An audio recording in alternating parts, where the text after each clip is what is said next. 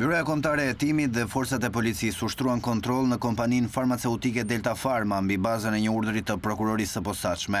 Kontrolli lidhet me një hetim të ri të nisur në lidhje me disa kompani farmaceutike në vend, si dhe kontratat që këto kompani, përfshirë dhe Delta Pharma, kanë patur me Ministrinë e Shëndetësisë kur ky institucion drejtohej nga Ilir Beqaj. Mësohet se SPAK po heton rolin e ish-ministrit Beqaj për të parë lidhjen e tij me këto kompani farmaceutike. Në kuadër të urdhrit të SPAK u kontrolluan edhe disa banesa të personave që kanë lidhje me Ilir Beqajn, për të parë nëse ish-ministri i ka lidhur kontratat në mënyrë klienteliste dhe nëse ka përfituar prej tyre. Se cilat kontrata janë duke u hetuar nga ana e SPAK, kjo është një çështje që mbahet sekret nga grupi hetimor. Ky është një hetim tërësisht i ri, nisur mbi bazën e disa indicieve që ka marrë Prokuroria e Posaçme për kontratat e Ministrisë së Shëndetësisë dhe shkeljet e pretenduara në kohët që institucioni drejtohej nga Ilir Beqaj. Zyrtarisht, SPAK konfirmon për News njëzet e katër se ky hetim nuk ka asnjë lidhje me hetimet për koncesionin e sterilizimit apo të check-up-it.